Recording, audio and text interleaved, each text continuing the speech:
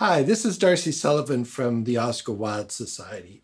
And today we're having a chat with Don Mead, the chairman of the Oscar Wilde Society, who's been a member for around 30 years and been the chairman officially for about 20 years. And we're going to talk to Don about the Oscar Wilde Society, about his time editing the Wildean, and also about his feelings and opinions, of course, about Oscar Wilde. So, Don, thank you for having us here today in your beautiful home. Don, when did you first encounter Oscar Wilde? In the school playground. Oh. I'll uh, just refresh my memory. Um, I was, uh, oh, about six or seven, I suppose, and in the school playground, rude rhymes and chants were exchanged.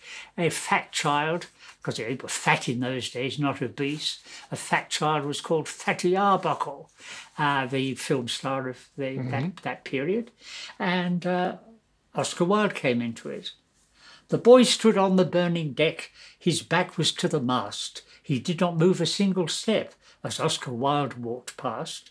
But Oscar was a wily bird, he threw the boy a plum. And as he stooped to pick it up,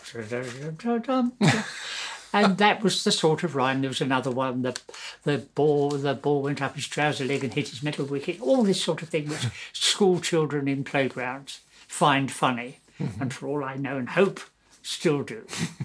but what it does mean is that in the back of my mind, as I was growing up, all that I knew really about Oscar was this uh, sexual oddity about him. Mm-hmm. You know, he's a pansy or whatever, whatever the terminology at the time was. Um, you see, I wasn't one of those who can say, as so many do, ah, I was brought up on Oscar Wilde's fairy tales as a child. Mm. Maybe I was, maybe I heard them, but I can't honestly say I've got any recollection. Um, my as I grew into my teens, my first sort of serious author that I uh, really enjoyed and uh, in a small way collected, you know, I bought his, bought his books from second-hand bookshops was uh, Thackeray. My encounter with Oscar as a writer was with a perfectly dreadful book called In the King's Treasuries of Literature this was a pre war student edition of a large selection, about 15, I suppose, of um, miscellaneous plays. And this included uh, The Importance of Being Earnest, just a section of it. It was edited by a chap called um, um, um, um C.E. Eckersley, M.A. And he said uh, one gets weary of the endless fireworks of epigrams, he said. Mm. This is in the introduction. Our people in the upper remove are at an impressionable age and reading. And although the plot is purely farcical, you may feel you like to know how it ends. So rather patronisingly, he summarised in the last few pages, uh, for the last few lines, uh, what uh, what the importance of Ernest was, being, was about. Um, so I worked on this, and I've still got the thing. I nearly threw it away in disgust several times, but I still kept it. And what interests me about it is that in the pen, in the margins, uh, carefully written in pencil in my schoolboy hand, are aphorism, epigram, paradox. Do you know in those days I knew the difference? I'm not sure I do now. Anyway, despite this Mr. Eckersley, uh, I found the play funny, just this excerpt. And then I remember we did a dramatised reading, also in the upper remove, of the whole play, just in the you know in school. And then I really realised, you know, seriously realised this is a funny play. So I got into Oscar by really three different routes. One of them is the literature side, which began with the importance of being earnest. Then, when I was a law student, entirely separately from all this, I was doing um, uh, my law studies and going to the Wildy's second-hand bookshop in um, near the Inns Court, and I just came across the Montgomery Hyde Trials of Oscar Wilde, and that really did hit me between the eyes, as it were, because I didn't know anything in detail at all and the Trials of Oscar Wilde most certainly fills in any gaps in one's knowledge. So that was an important part of my getting to understand what Oscar was about. And then the uh, that led me to biographies. I read um, Hesketh Pearson, which I still think is an indispensable early biography because it's written by somebody who knew people who knew Oscar and people who knew Bosie. So it's got a, an immediacy about it, which uh, makes some of the other biographies seem a bit second-hand. So Hesketh Pearson, Pearson was very good. And um, I, the next one, I suppose, was uh, Montgomery Hyde's biography. That was, uh, what, 76. So I was beginning to get into Oscar in the biographic sense as well. But the writings, I mean, I just had uh, one of the Collins complete works, and then I was buying miscellaneous things as they came up. Because in those days, you didn't look for things on AbeBooks. Abe books didn't exist in those days. You went to bookshops and saw what they had. You went in, anything by or about Oscar Wilde, please, you know, and sometimes you would find, well, you did find quite a lot of interesting stuff. Mm-hmm. I mean, I got, for example, my copy of um, uh, Ada Leverson's Recollections of Oscar Wilde signed copy that just turned wow. up in a turned up in a bookshop. Very battered copy, but then Ada Leverson was unkind to books, put glasses on them and scattered powder on them. So I picked up all sorts of things like that. I was beginning to build up an Oscar Wilde collection. And uh, the going along with that was the process of uh, understanding Oscar and learning more about him. And I think there were one or two key things there, accidental things, that's to say. Um, one was uh, finding a copy of the letters, which uh, uh, I hadn't bought new, but I, I as I say, I picked up in a, one of my many visits to second-hand bookshops, and that really opened my eyes because of the, well, the enormous variety of his witty correspondence, and um, of course reading De Profundis in full, because I remember being totally puzzled by the Robbie Ross edited edition. Mm. It didn't seem, there seemed to be something strange about it, which I didn't really warm to at all. It seemed all a bit fanciful and uh, rather forced, but reading it, the proper, the whole text, another matter altogether. Mm. And I, these are random recollections. I also remember picking up, just by luck, a copy of the reviews, the uh, in the collected, you know, the Matthew Methuen collected edition. And I remember, I can still remember getting it at Waterloo and reading it on the train and thinking, these are wonderful Oscar Wilde reviews. Absolutely splendid stuff. So when you were going into bookstores and asking if they had any books by or about Oscar Wilde, did you ever get any funny looks or any but any confrontations? Uh, no, never got that. Um, I did once get a voice from the other side of a bookcase saying, "Did you say Oscar Wilde?" It was a lady's voice. It was Lady Alice Douglas. Huh. She was there because she said in her family nobody had kept any of the books about Oscar Wilde. Mm. So she was looking for the basics. She hadn't even got her father's book, so or, or uncle's book, whoever it was. Do you have a favorite work by Oscar? Oh, that's hard. You know, I. Uh, you know, one can say importance of being earnest. In a sense, it, it is. Um, I think, from the point of view of things that I've uh, benefited from rereading um, the intentions decay of lying uh, critic as artist but really it's got to be the ballad ballad of reading gaol hmm. uh, was you know, an astonishing thing to read straight through mm. the hmm. first time really was as opposed to silly bits of excerpts mm. in anthologies yeah. just to read the whole thing and um, I remember being haunted by uh, um, who can tell to what red hell his sightless soul may stray. I remember that phrase really, you know, haunting me. And um, the last last three verses, you know, the well, the, well- the very well-known ones. Um, no, the whole thing. That's. I think it must be my favourite. If you put me in a corner, make me choose. That's the one. Yeah. Don, how did you become acquainted with the Oscar Wilde Society? I bought a copy of, I think I'm right in saying, uh, Philippe Jullian's biography from a bookseller in the City of London. And when I went to the cash desk, uh, the young lady there said, Oh, if you're interested in Oscar Wilde, you might be interested in this, and handed me the Oscar Wilde Society leaflet. This is going back to the right to the very beginning, the Joanna Crook days, and uh, she, she and uh, Terry Bushnell and the uh, Sue Baker, the original members of the Oscar Wilde Society at that time, had, among other things, got together a, a know, simple, straightforward leaflet. Um, Oscar Wilde Society, here's a contact number. And I remember phoning up Terry Bushnell, and we had a long chat. And I thought, well, sounds good. So uh, that was how I got to join. And it was a fairly new society It was when you new at joined. that time, yeah. like yes. a year old or something? about a year, year and a half or something like that. Yeah, yeah.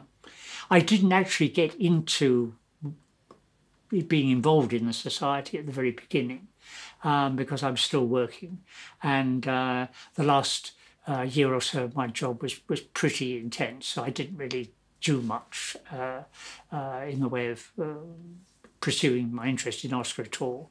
Uh, but um, in fact, I missed one or two of the very early events, to my to my sorrow. But um, that was how I that was how I got got involved. Yeah. When and how did you become the chairman of the society? Well, I first of all became a committee member. Uh, that happened at uh, a certain AGM at the Chelsea Arts Club, uh, where um, Andy MacDonald and Bindon Russell, two of the first leading lights of the society, were both there, and um, I was. Uh, I, I think I heard myself say, if, if by any chance you should have a vacancy on the committee, I would be, and that I was appointed, you know, absolutely instantly. So I became a member of the committee at that at that particular AGM. And and what did you have a role in the committee at Uh, that no, time? no, we didn't have we didn't have roles. We were just committee members, and um, what really happened was that uh, the editor of the Wildean, a chap called James Clutton, who'd done it from the very beginning, uh, had done four issues, and he was really giving up. They wanted somebody else. I was able to say that I had been the editor of the Cornhill magazine, which sound, which sound totally is totally absurd. It is that when I was working for Cornhill Insurance Company, we had a house journal, house magazine, uh, just for the entertainment of the staff. It wasn't compulsory reading, and we asked Macmillan's, I think it was, uh, whether the name Cornhill magazine, which was after all a famous name, uh, was still uh, in use, copyright or anything. I said no, nothing. You can use it if you want to. So we did. So my qualification for starting with the uh, the Wildean, taking over from James Clubb, was that I had been editor of a house magazine of my of my employers, which was a in its, its small way quite quite good as uh, house journals go, because I had the support of uh, a chap called uh, John Heald, who was later became chairman of the Betjeman Society. He was a colleague of mine. So there were the two of us. Uh, we we did this thing more or less more or less for fun. So I took on the Wildean. And did you enjoy editing the Wildean? Oh yes, very much. I um, started with issue number five, and uh, I had just about enough material to to fill it, and it was absolutely from scratch because uh, there was nothing to start with at all except a, a Roneoed thing. I don't know how it was put together really. Um, I remember I used Penguin New Writing because it happened to be handy and it happened to be A5 size. And it had a contents page which was suitable for uh, the, the, the first issue of The Wildean. Um, I had a computer which would, uh, it would do not only um, Calibri or whatever the, the basic typeface was, did Times New Roman in two sizes. It would do 6 point, 10 point, and no, three sizes 6 point, 10 point, and 12 point. So this was the technology available, computer that would just about do that stuff. And mercifully, I started right because I said I will work in A5.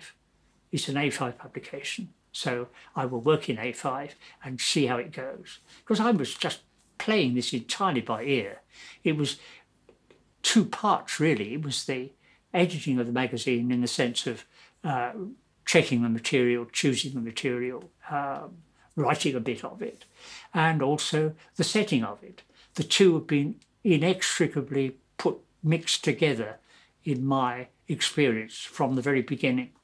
So I uh, set this thing in A5, had it printed by a local printer down the road here, and um, I subsequently uh, gradually established a house style. Every time I made a decision as to what size a typeface should be, or whether it was going to be small capitals or italics or whatever, I kept a little note. So I had a running collection of notes, which was in fact the Wildean Style Guide. And uh, it, the pr process of producing the magazine was twofold. It was the content and it was the physical bringing it into being, mm -hmm. the setting of it. So I've always felt that it's, it's a proper paper journal. Mm. It's never existed in my mind in anything except its current A5 form. Mm. Could be larger, but that's how it happens to be. In your time, the Wildean went from a society journal or a society magazine to really being the leading publication, the leading academic publication about Oscar Wilde. It did over a long period. I mean, the progress was was uh, gradual but progressive. Um, the because there were landmarks in in this. Uh, for example, it happened that uh, I think I'm right in saying issue six was a special issue, as it were, for the centenary and uh, there were worldwide celebrations of Oscar. At that time, you couldn't open a newspaper without there being something about Oscar Wilde. Every day there was something. Uh, there were theatrical performances, publications, lectures, talks, exhibitions, all sorts of things, all over the world. And these were uh, news items. And so I gathered together thumping great file of newspaper cuttings about the uh, Oscar Wilde centenary, and uh, largely myself wrote it up. One or two other people contributed a bit. Uh, so that was one landmark in the uh, development of it. Uh, the other thing was the progressive uh, business of getting contributors. Um, I, there I had a lot of help from very nice authors who did out of the goodness of their heart, contributed. Um, Anne Clark Amor is one, uh, Joy Melville is another, um, Jonathan Fryer, most particularly Jonathan, who after all a professional journalist, but he wrote articles about uh, uh, events, the um, unveiling of the Maggi Hambling statue, for example, and the uh, premiere of the uh, Stephen Fry film. Uh, I mean, he wrote authoritative and entertaining articles. So I had people like that. And so I was progressively able to say, when I was soliciting a contribution, because I was doing a lot of that, writing to people and saying, you know, I've noticed you had an interesting something or other book. Would you care to write an article for me for the Wildean? And I was then able to say the Wildean is a journal, and among its contributors are, and the among its contributors are list began to grow and become more authoritative. So it gradually built up until there was almost a crossing point from me trying to get people to write articles to it became more the other way around, people submitting articles. So there was a sort of crossover point, at which one became uh, established in the literary market. In your time, did you have any controversial articles? Um, we did have a bit of controversy over articles uh, related to Oscar's boys, how old they were. There were one or two queries about that. Um, if you mean controversy in the sense of editorial problems, um, there are one or two things I uh, look back on and think, was it really necessary to print that one? But that's going back to the very early days. Mm. Um, I have had one or two little exchanges. I think one one that comes to mind is there's a, a lady of uh, not unknown. Um, I'm not mentioning her by name, I assure you, uh, but she was one of more than two people who fastened on the American Psychological Association's classification of personality disorders or something of that kind. Mm-hmm. Uh, like you have a narcissistic, narcissistic, is that narcissistic, narcissistic, personality disorder. Or if you are Bosie, you have. And if you are Oscar, possibly you have. And she wrote one of those articles saying, oh, we, the characteristics of this, uh, of Bosie or of Oscar match the American description of narcissistic personality disorder, exclamation mark, as if it were a great discovery. So I mustn't be too dismissive. Anyway, um, one of those. And this lady uh, objected to the way I had set the article. She said, but Oscar didn't write, this is quoting a letter, if you please, Oscar letter. Uh, he didn't write what you've done. He wrote and she transcribed it. And what she did was actually transcribe from the written letter, where Oscar had large handwriting on little Victorian letter paper and got about three words on each line. That was as many as the paper mm-hmm. would take with his big scrawl. And she said that was how he intended it to be read. And she quoted Emily Dickinson as an example of somebody who wrote poems with, with short lines. And this was totally bonkers. but I could not convince her.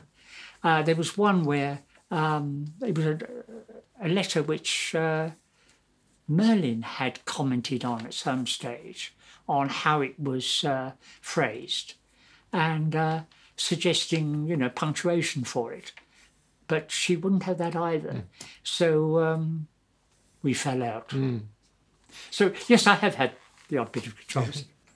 You edited The Wildean for about 22 years. Are there particular articles that you're proudest of? Oh well, yeah, that's that's, that's hard because there's an awful lot come mm-hmm. in that category. Um, may I just be indulgent and talk about things I've written written myself? um, the the things I'm happiest to have written are um, the account of Oscar's finances, mm. which uh, was a joint effort of mine and Anne Clark Amor. Uh, we started together working on this, and she uh, did the basic draft of the first two articles. Then uh, it got a bit bogged down with the need to deal with Tite Street auction and um, the Tite Street catalogue. And uh, well, to cut a long story short, it really just sort of uh, went on went on rather long hold.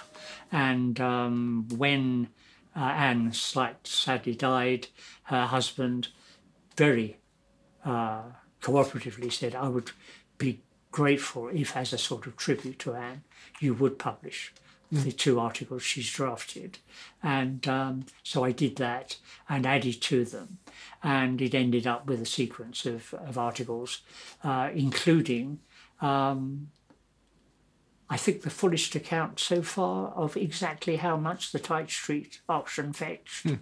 Because um, I was able to do quite a bit of research there and identify some of the items which weren't hadn't got a price on the published list. So mm. uh, that that I, I, was quite pleased with.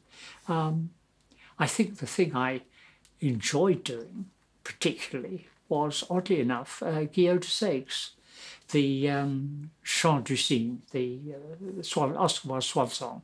Um, in the development of the Wildean, um, the key change made a few years back was from being a journal which published miscellaneous material of all sorts, lengths and degrees of uh, scholarly exactitude, uh, became a peer, peer-reviewed journal. That is entirely down to Tom Wright, Thomas Wright, the author of Table Talk and Oscar's books and many others. Um, he and I, at the time when the Oscar Wilde Society was in something of a problem uh, with uh, success, people to take over things, um, he I did approach to become editor uh, in succession to me so that I could didn't have everything to do. Uh, and we had a long talk in Oxford about what the uh, Wildean could be.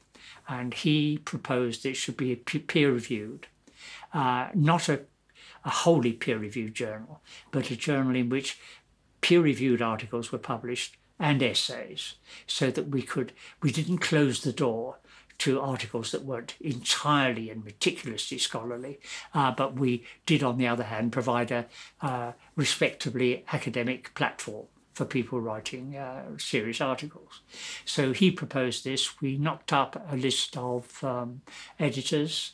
Uh, we had all Franny Moyle and um, uh, I think we had John Sloan and uh, various people who are still on still on the list.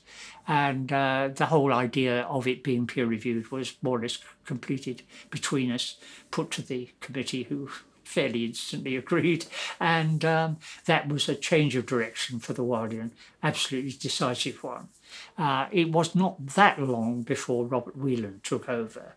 So Robert Whelan, as it were, inherited it at the beginning of its life as a peer-reviewed journal. And of course, under Robert, it's developed enormously as a, as a peer-reviewed journal, of which we are all very proud, I mm. think. And when did you become the chairman, Don? Uh, there are two dates for that, really. um, at first, in 1995 or 1996, I was elected chairman uh, when we had an AGM, because you need to have somebody to be a chairman and somebody to take the minutes. So I was chairman of the AGM. And that was the nearest we had to a chairman. So we had the rather awkward thing when somebody said, Who's your chairman? We'd say, Well, the chairman of the AGM. It, it, it was silly. And and it was Anne Clark Amor who finally got tired of this and said, Look, it's not just um, illogical, it's bizarre that we haven't got a chairman. Don's been acting as chairman all these years, shall we not elect him chairman? So they elected me chairman.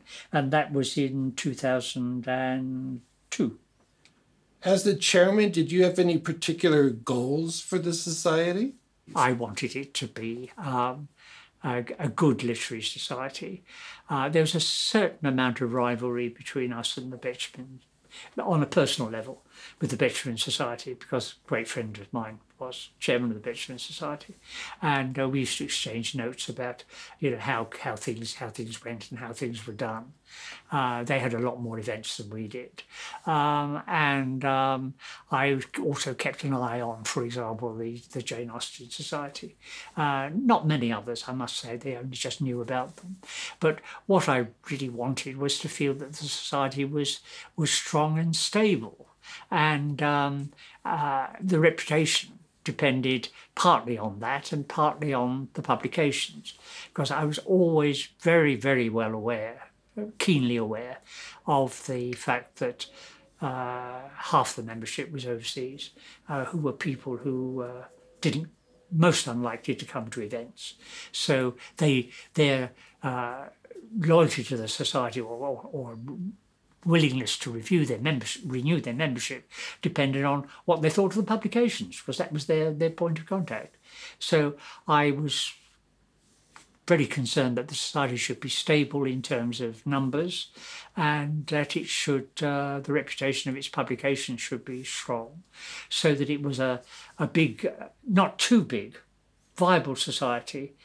I didn't, I better just interpolate, having said not too big, I was rather put off by the Sherlock Holmes Society. Uh, the eh, the chairman of that happens to be uh, not a, a fairly near neighbour, and I went to one or two events there, and they were big events where you had uh, at best a buffet and you circulated with a with a cardboard plate and a cup and a glass, all rather awkwardly. And I thought, you know, I don't think this is what the Oscar Wilde Society really ought mm. to be. And uh, our, my fellow members all agreed, you know. I think as one simply said, we are very good at a knife and fork, you know, and we really ought to, you know, keep our uh, meetings to sit down dinners, sit down lunches, mm. where we can be properly convivial, mm-hmm. which you do in a way if you're circulating with a buffet. But I think it's not the same as sitting down. Mm. So uh, I think I was therefore uh, quite at ease with the idea that we only had, say, 300, 400 members, because that's about as many as accommodates that sort of way of working.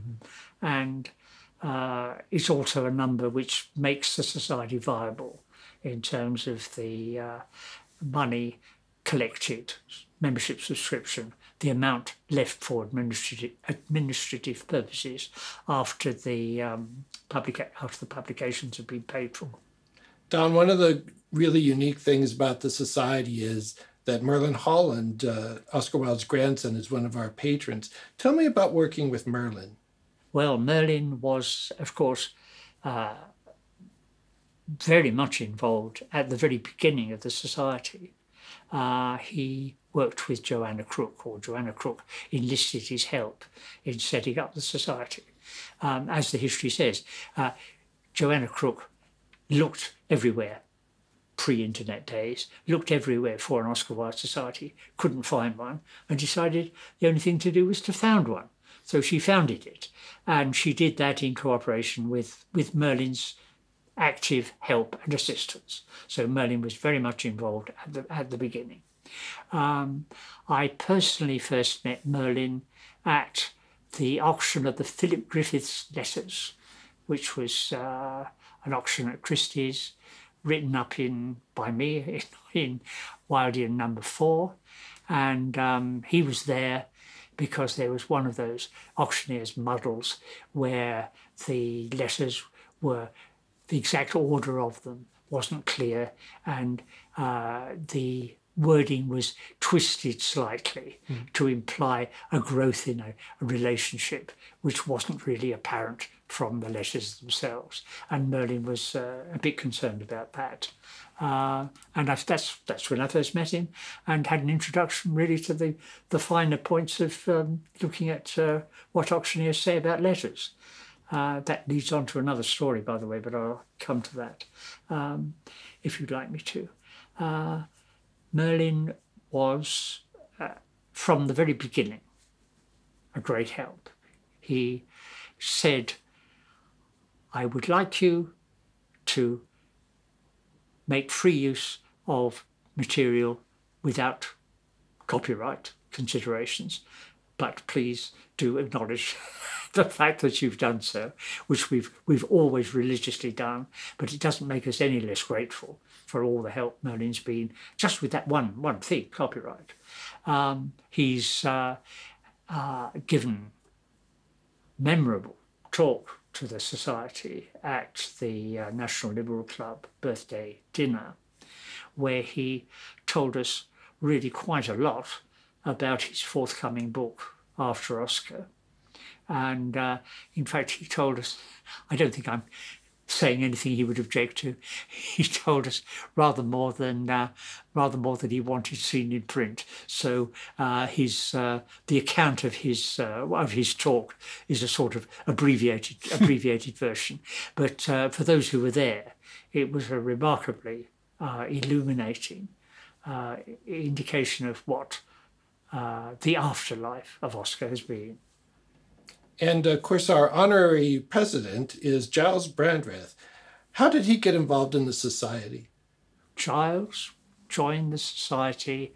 Um, I remember, I think I'm remembering right, at the time of a commemoration of the uh, the unveiling of the, the tomb, the, the, the Jacob Epstein tomb This was organised by uh, the French Oscar Wilde Society, or one of the French Oscar Wilde societies. And uh, yes, there was a commemoration. It was organised by, um, among others, David Rose and um, uh, Daniel Guérin, who are Société Oscar Wilde en France, uh, which we uh, refer to in our website, a sort of sister society. Um, the uh, Giles was there, and um, he was signed up. Um, I think he signed the form on my back when I sort of bent forward to provide a table for him. and uh, he joined the society there and then, because uh, he and I both, well, he, he gave a, a, major talk and I gave a short, short one, standing by the tomb. Um, that was a, a, very great occasion, actually, that, that, that visit. Um, then subsequently, uh, the story, which I'm sure Merlin wouldn't mind me repeating, is that from time to time, I would ask Merlin whether he would like to become president of the Oscar Wilde Society. Uh, I had always said that the position of president is left open. Uh, we had no president, uh, and uh, left open for our senior patron. Um, and Merlin finally said, uh, I don't wish to be, it's incompatible with my personal role to be associated with, a, with an organisation. Why don't you ask Giles? And at, the, at about that time, I had reached precisely that conclusion that Giles was the person to ask. And I was about to ask Merlin whether he thought it was a good idea. So Giles was uh, appointed by acclamation, basically. Mm. Everybody said, Of course, love to have Giles. Mm-hmm. And he's been a big uh, pro- proponent of the society, hasn't he? He has been the most wonderful asset and support to the society in every possible way. I mean, he he supports us uh, publicly and privately. He's always encouraging. He's always positive. Um, he is wonderful at social media. Mm-hmm. Um, he's uh, an enormous support and publicist of the Oscar Wilde Society. He's mm. made us better known. I mean, I think he can take a lot of the credit for the fact that the society in the last three or four years has developed fast. Mm. Let's dip back to the story you mentioned a moment ago about letters. You said there was a story about letters you could tell. Oh, there was the, uh, looking back, the lovely incident of the Alsager Vian letters, uh, which turned up. He was the editor of the Court and Society Review and a young journalist of enormous, enormous skill and promise. And he edited this, this journal, and there were uh, already existing some letters between him and Oscar, and a couple more turned up. And um, ab- so these were not at one of the major London auction houses and the uh, publicity put out was absolutely shamelessly careless, or to use a, a mild word, and implied that Oscar and Alsager Vian were having an affair which is a lunatic idea. Um, uh, and um, the the key words were something like um, that Oscar used the phrase in relation to the fact that the Court and Society Review didn't get to the bookshops in the West End the next day, as it, as, it, eh, as the next day after it they'd been published in the in the city, as it should have done. And this is a this is a disgrace or something. Um, and uh, an exchange about the uh, delays in delivering a magazine were twisted into Oscar concerned about delays in being able to meet Alsager Vian. And uh, it said something like, can't wait till Thursday. And um, this was in the context of meeting up on a Friday. So the whole thing was totally lunatic, but it got all over the newspapers. And um, I had to write, I, with some pleasure, wrote a long letter about it one got published in the Telegraph. Merlin wrote about it. He got something published in the Times, and uh, the whole thing was was eventually uh, straightened out. But uh, what it led, incidentally, for me, was um, trotting up to uh, Kingsbury in the days when the, the magazines were still there, and the only copy of the Court and Society Review they had for that period was the old the, the, the paper copy. So I had the great pleasure of the huge folio copy of the Court and Society Review, and searching in that for correspondence, and found a review by Oscar of um, a performance by Beerbohm Tree, which was clearly by Oscar, although it was anonymous. And uh, so I was able, in the Wildean, to publish for the first time a review by Oscar Wilde. He was our distinguished contributor. Don, what are some of your fondest memories as chairman of the Oscar Wilde Society? They are undoubtedly the times when I felt that the society is um, congenial. Um, the members are all enjoying them, enjoying it. Um, that it's uh, a society which is a, a, pleasure to be a member of, and those do, of course, tend to be the events like the dinners, for mm. example. Mm. Because if you've had a convivial dinner and you've listened to an entertaining speaker, I mean, for example, it might be Giles Brandreth or something, you know, or um, we've had some wonderful speakers over the years, uh, then you have a feeling in the room that you are in a society which it is uh, a very great pleasure to be to be a member of, mm. and uh, I think that's when I felt most that the society is at its at its best, mm. and we've had a num- great many occasions like that. I'm happy to say. So, looking back at some of the trips that the Oscar Wilde Society has taken, do you have some favorite times or memories from those? I remember the, the, the first trip to Paris, where for the first time I saw the uh, L'Hotel mm. and Oscar's room and the, the, the, staircase, that very evocative staircase going up. And um, just, just to see that. Uh, I don't count Père Lachaise because that's part of everybody's experience, I think, seeing that. Um, the one of the most enjoyable was really in, conjunction with uh, with Julia Rosenthal, uh, going back a number of years. Uh, she had um, just by correspondence with the librarian at the Dieppe Public Library um, got a bit of information about Oscar Wilde in, in Dieppe because she was uh, adding to her collection. She got one or two things related, well, several things related to Oscar Wilde in Dieppe and Berneval. So she was uh, trying to do a bit of local research on that. And the librarian at, uh, at Dieppe uh, told us uh, there are there's a couple interested in um, Oscar Wilde who live in Berneval. Berneval, really? Oh, that's very interesting.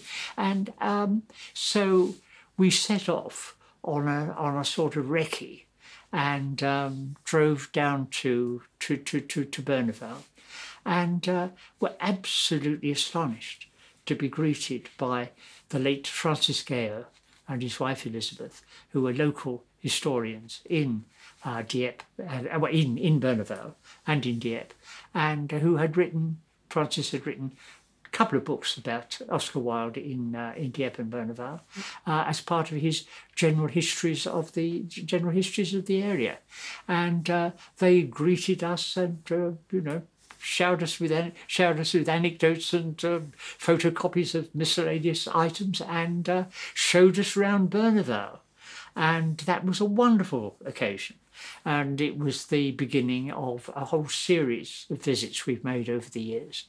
I think there must be five or so in all uh, to to Berneval, where um, uh, Francis Gale, alas no longer with us, um, Francis Gale and his wife and the uh, uh two successive mayors mayors of Berneval uh, have been our hosts and uh, we've always been treated most um, royally, really.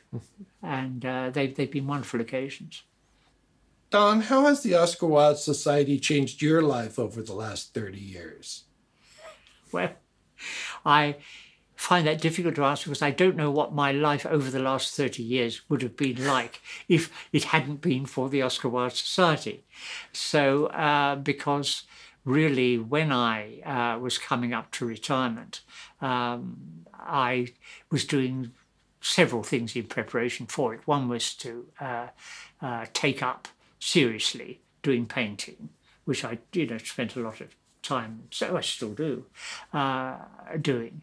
And um, also, I was building up my uh, interest in Oscar in a in a rather casual sort of way, just building a collection of books. You know, at one stage I had nearly a hundred. You know, I really felt I was getting to a to a to a, to a landmark there, and uh, surely it must be my collection must be getting complete. Ha ha.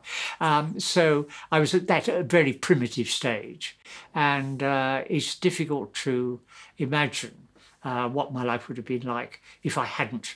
Uh, stumbled upon the Oscar Wilde Society at that time and joined it and become part of it. So uh, I think the answer is not. It didn't change it. It was. Uh, it was a, a, large section of my life. Mm. You see what happens with, with, a lot of people like me. I think the job they're doing. Uh, there's not much to do after you've retired. You may have a number of personal friendships, that's another matter. Um, retaining con actual connections, the only ones I retained really are various overseas ones. I'm still still well in touch with people I got to know that way. But apart from that, uh, there's a, just a, a, great gap where one's uh, circle of work colleagues used to be. There only just a very little of it left, and that place was taken by the Oscar Wilde Society. Um, why has the Oscar Wilde Society not supported a posthumous pardon for Oscar? Uh, incorrect question, if I may respectfully okay. say so. Um, there was at the very going back a number of years, occasional um, ideas that Oscar should be given a royal pardon.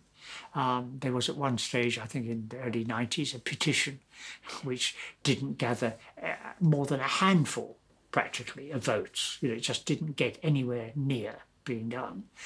At that time, uh, there were lots of differences of opinion. Um, one which uh, was held by a number of members of the society was pardon him. That implies that he did something that needed to be pardoned. He didn't do anything that needed to be pardoned.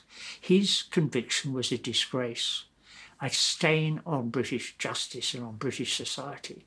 You can't rewrite history. You leave it where it is. You leave him unpardoned to the disgrace of the judicial system. And you, you don't try and rewrite history. That was a point of view which was held quite strongly by a number of people in society. So at that time, there were people who wanted a pardon, and there were people who equally vociferously and equally logically, I think, didn't. So we couldn't, as a society, have a point of view. Mm. So we didn't support it, we didn't oppose it either. We just didn't, we, we said we are a society with, of individuals. We as a society don't have a point of view. That's going back a bit. Since then, of course, you've got the Alan Turing law and everything has changed. And uh, it, the, the terminology pardon has, I think, become accepted, though I think it's a disregard, isn't it? Actually, technically. Mm. I don't know. But um, anyway, uh, that's in that's bringing us to the future. Well, of course, we support the fact that he's part. Of course, we do. Don, what funny stories do you remember from the Oscar Wilde Society? Um, funny stories. I've got a prompt here for you. The winner of the poetry competition at the Borstal in Reading. Oh, that one. Ah, ha! yes. We, um, one of the connections we had from the very beginning of the society was with the um, Reading Prison, Reading uh, Young Offenders Remand Centre, otherwise known as Reading Prison, otherwise known as Reading Jail. Uh, that goes right back to the beginning of society. Uh, we established good relationship with the then governor, who was very welcoming, and we had regular visits to the to Reading Jail, uh, which we did year after year, and that's you know the the foundation of our current uh, attempts to help the uh, proper use of the, the, the building now. Um, at some stage, we were asked by the um, education officer at the prison to um, well enter discussions. Could we could we have a, an Oscar Wilde prize? So we agreed uh, to have an Oscar Wilde prize. There would be a competition for it, and Lady Longford, bless her, um, who was very interested in legal matters, as indeed was her husband. Um, she was uh, also a member of the society. Uh, no, she was a patron of the society, and um, she would have been one of our speakers too, uh, but alas, she was too ill. Um, anyway, she went along to Reading. Um, I remember we, we drove there and she said, um, if the journey's too long, we can always stop and have a banana, can't we? And um, we, she was, she charmed the boots off the lads and they loved her because they saw her as the, you know, the ideal granny, you know, they, they, uh, they really took to her and they were all on their best behaviour and they baked cakes and they were the boys from Reading Jail and they wanted to be remembered and so on. So it was all very cosy and happy. Um, so we had this competition, and Anne Clark Amor and I were the were the the uh, ones who uh, scrutinised the entries, and they were a pretty thin lot. They were they're well-meaning, and some of them were uh, doing their best, but there wasn't anything very good except one, which was a, a poem about an electronic dog, and Anne and I both said, "This is amazing." It really is absolutely original. And uh, it's the winner, isn't it? So we agreed, yes, yes, this is the winner. And um, uh, Lady Longford presented the prize to the young lad, who uh, was very casual about it. He said, she said, how long did it take you to write it? And he said, oh, not really very long, but um, I, uh, I wrote this other one. And as something, anyway, he was quite chirpy uh, and brazen. He copied it from the record sleeve of a Frank Zappa record, which was in the in the in the prison library. And uh, Anne and I, I regret to say, were neither of us familiar with the works of Frank Zappa, so we didn't actually spot what it was. It was pointed out to us afterwards, so of course we had to issue a, a further supplement to the Wildean about the uh, about the, uh, the, the the the prize giving, and um, confessed all as it were, and uh, Lady Longford, bless her, said, Oh, well, it wouldn't really be Oscar if something something amusing didn't happen, would it? She said cheerfully. And uh, so there you are. That was a, uh, a harmless a harmless episode, really, in the history of the society. Don, how was Oscar Wilde regarded when you were young? Well, when how young is young? When I was at school, when I was at infant school, he was just a a name one knew in in a vaguely, uh, well, not vaguely, uh, specifically naughty connection. Uh, it wasn't menacing; it was just naughty, you know. But um, that was that's that's only just my personal recollection. Um, judging by what I remember, which is pretty little of what my parents said, uh, that was really mainly uh, the feeling that Oscar was somebody who was uh, in sexual disgrace, you might say, uh, but who wrote The Importance of Being Earnest, which after mm-hmm. all I'd done at school, sort of. And how has the opinion or reputation of Oscar changed since then? Well, hasn't it? yes. I think Oscar, Oscar is now uh, uh, moved pretty much beyond that. Uh, well, has he come to think of it? Uh, no, I think Oscar is, is now appreciated on a, on a very wide canvas now as a, as a wit and as a writer and as a dramatist and um, as a, somebody whose life is to be, if not, not emulated, but certainly learned from. Mm. Do you think Oscar has peaked in popularity, or do you think he'll continue to get new admirers? uh, he might be on a plateau, but I don't think he's I don't think he's at a peak. I don't think he's going to go down. Mm. No, no, no. I think he's he's set set fair where he is. I mean, if you think of all the, the dissertations on the uh, and theses on the subject of Oscar Wilde, and not all not all of them are about Dorian Gray, although I think most of them are. Um, when you consider all those queuing up for uh, printing and publication, I think it's going to be a long time. One of the big questions about Oscar Wilde is always why he didn't flee the country after the Queensberry prosecution failed and he was about to be arrested. What's your opinion? Wasn't it? I'm trying writing thinking that when Merlin wrote his little book, um, Coffee with Oscar, um, he said, if there's one question I would like to ask my grandfather, it would be, why? Why didn't you? Why didn't you leave? And um, I, I, I, think I go along with the, the combination of all the answers which have be proposed. That um, uh, one obvious one is that he didn't actually know just how strong Queensberry's case was. If he'd known what was uh, looming up in the way of, uh, of witnesses uh, to his uh, to his relationships, uh, if he'd known all that, he might have that he might have thought again.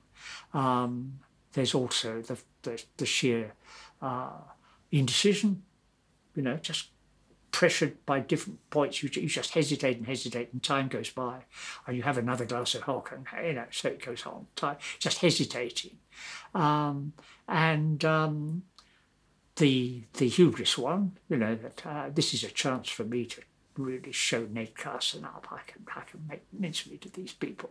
They they can't they can't outwit me. Uh, of course, he was nearly right on that. Um, and of course, the other one, he wanted to please Bosie. So uh, I think a combination of those things is enough to stop him catching the boat. Mm.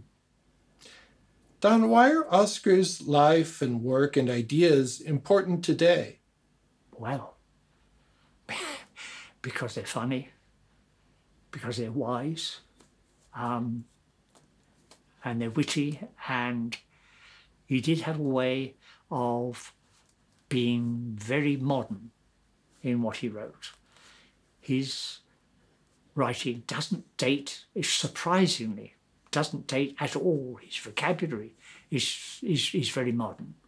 Um, so they are, you're reading something that you, you feel is contemporary. And um, I think the the basic thing, which I think it was uh, Borges, Borges said, uh, that uh, he has a way of being right. Don, what would you like to say to people who are just discovering Oscar Wilde? Put that computer and that smartphone away. Stop looking up highlights of Oscar and little bits and pieces of Oscar. Get a copy of his complete works. It'll probably cost you a fiver. And um, read Oscar on the printed page.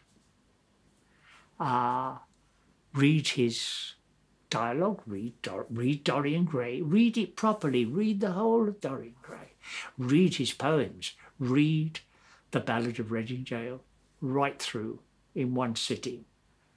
You'll remember it. Do that. Read, read the dialogues.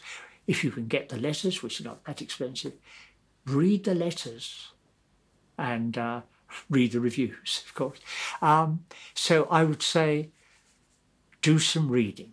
And then when you have really got yourself uh, informed about what Oscar wrote, then by all means go back to the internet and search. There's a lots of interesting stuff to be found. But please start with what Oscar wrote.